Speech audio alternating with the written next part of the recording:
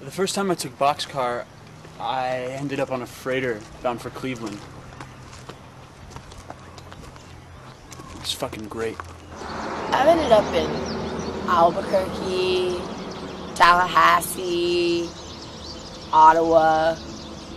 I've been riding for like, yeah, two years now, and yeah, I'd say it's been mostly good.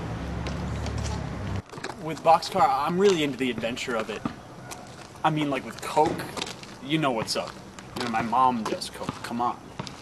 There's Philly, Portland, Reykjavik. But with boxcar, I mean, you take it one night, and then you wake up on a train. I mean, you don't know what train it's gonna be. You don't know where it's going, and you don't know how you got there. But man, when you do come to, that shit just isn't important. Yeah, yeah, I guess you could say I ride the train.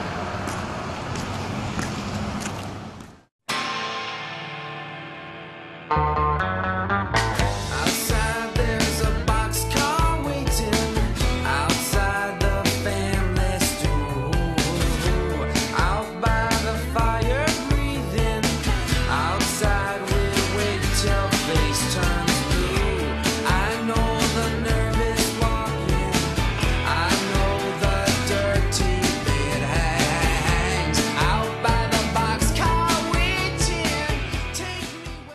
So, how did you get into taking boxcar?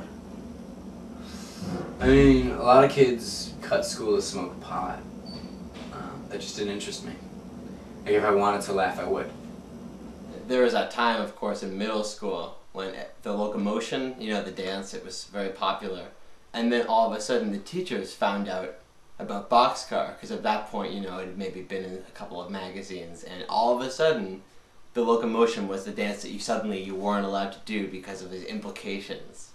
And I remember this one, like, this one time that me and some friends, and everyone was like, yeah, we're just gonna do the locomotion, we're gonna do it anyway.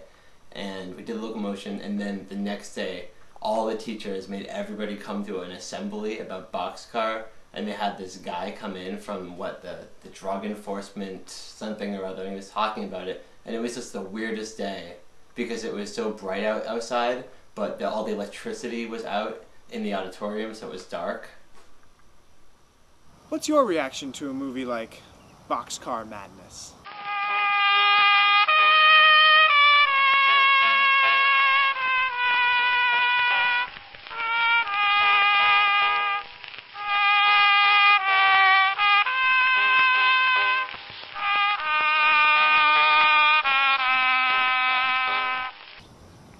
That's just propaganda. And the problem that we have is that a lot of these kids, they think that a train is just some kind of magical, happy place where nothing can go wrong. But the reality is that it's um, very different than that. This one time, I was hotboxing with these kids. and I didn't really know them. But I think one of them laced it with acid.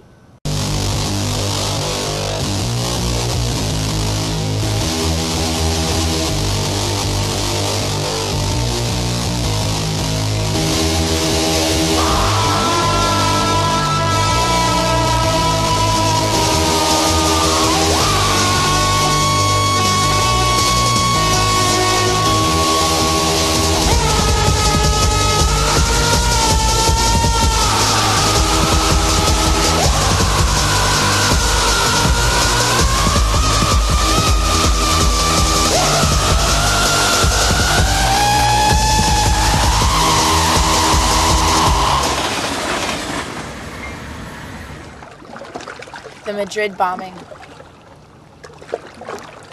That's when things really started to change.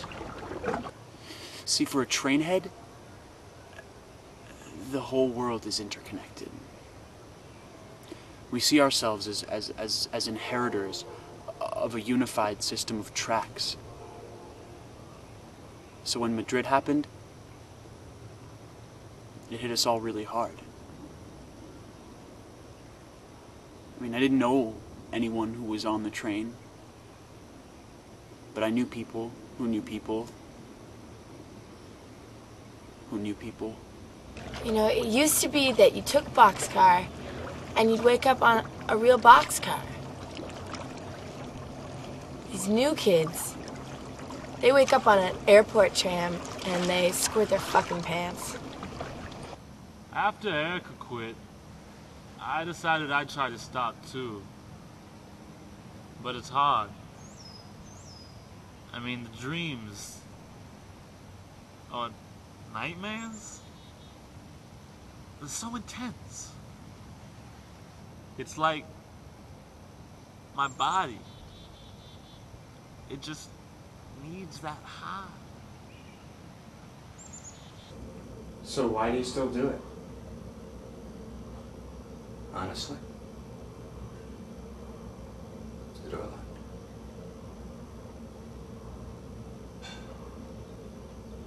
I had this toy train when I was a kid. My mom gave it to me two days before she died.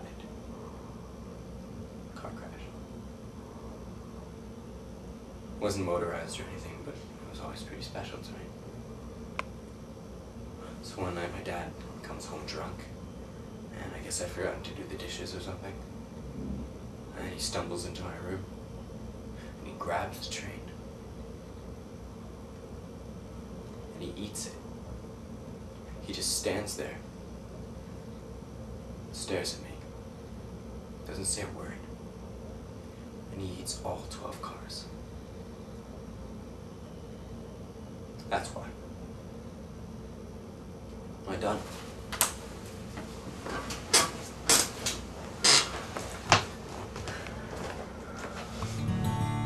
There's a place I know where the train goes slow, where the sinner can be washed in the blood of the Lamb. There's a river by the trestle down by Sinner's Grove, down where the willow and the dogwood grow.